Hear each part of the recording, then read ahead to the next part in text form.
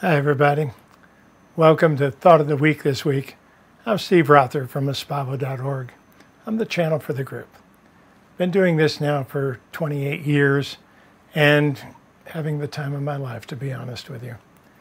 But there's an interesting thing the group says that I want to bring up this week, and I'd like to offer for you to bring into your own life if it fits. And all of these things, please understand, there's nothing that you must follow. There's no way that you must be. Those are belief systems. And the group calls belief systems BS. And let me explain what we're talking about. You may be following the group. You may be following all the things that we've said over all those 28 years. You may have been a big follower in everything that every book that we've written. Our books were translated into 18 different languages, and we've traveled all over the world promoting this material in different ways. And yet, we don't expect you to believe every aspect of everything we say. That would be giving your power away. That would be believing in a belief system. So it doesn't mean you can't have beliefs. It doesn't mean you can't take something we say and say, oh, that's powerful. I'm going to incorporate that. That's what the group wants you to do. But we're not asking you to believe in a belief system of any kind. And that is an empowering thought. So that's what we're going to ask you to do. This week, look at your own belief systems. We all have them.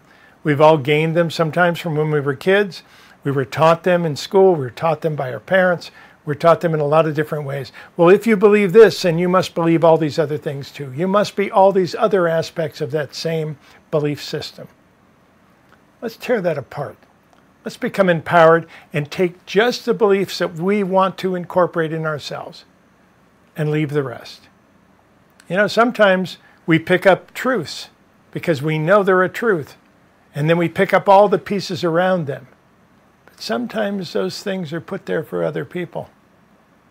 So let's not pick up all the belief systems. Let's just pick up the beliefs and things that we want to believe in. This week, we'll ask you to do exactly that. Look at your own belief systems. Look at the parts that empower you and leave the rest because they weren't put there for you. They were for someone else.